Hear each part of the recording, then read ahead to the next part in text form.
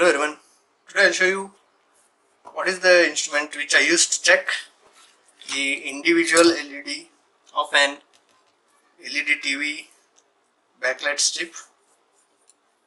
So I will be checking individually. So I'll show you how to make a LED independent LED tester. For that I am using a 3.7 volt laptop old laptop battery shell and two probes which are not of use these are the multimeter probes the pair of which is not working. So I am using the one the probe which is working.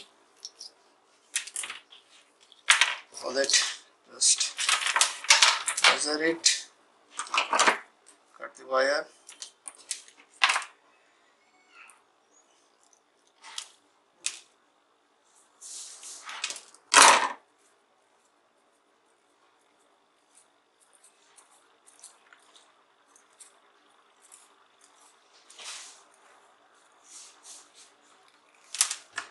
take a heat shrink tube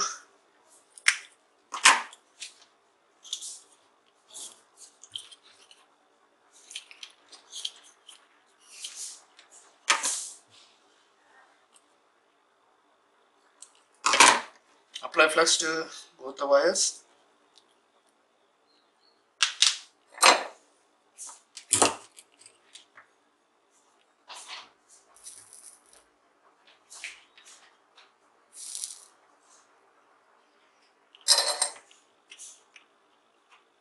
flux once again. Check the polarity of the battery. Here you see. Negative. Positive. It's showing 3.7 volts. So this is the positive and negative terminal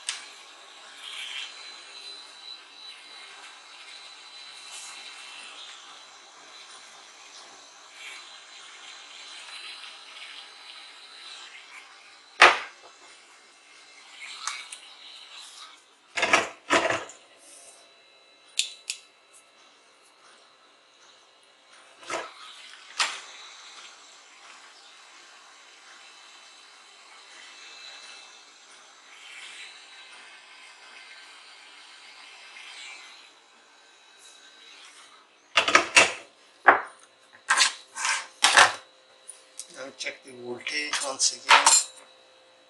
Red is positive and negative so it is 17.7 volts.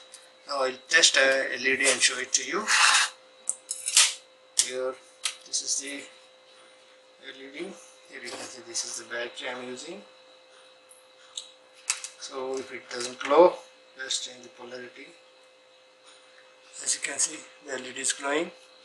So this is a way which you can make yourself a simple very simple LED tester so that you can replace only the single LED which is not working of an LED backlight TV a TV with a LED backlight not an AMOLED hope this video is helpful for you.